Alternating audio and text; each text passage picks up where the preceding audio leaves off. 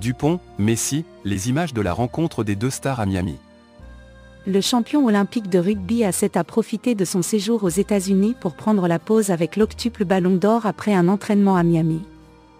Le moins qu'on puisse dire, c'est qu'Antoine Dupont joint l'utile à l'agréable pendant son séjour aux États-Unis aux allures de tournée promotionnelle.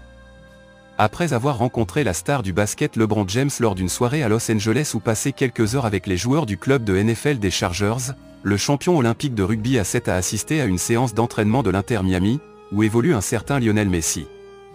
Le rugbyman du stade toulousain en a profité pour prendre la pause avec l'octuple ballon d'or au Chase Stadium et procéder à un échange de maillots.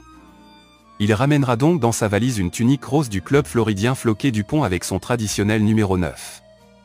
Le meilleur, de tous les temps, depuis Miami, a-t-il écrit en légende des photos postées sur les réseaux sociaux avec le champion du monde 2022 en y ajoutant l'emoji chèvre pour signifier le Goat, chèvre en français, le meilleur joueur de tous les temps.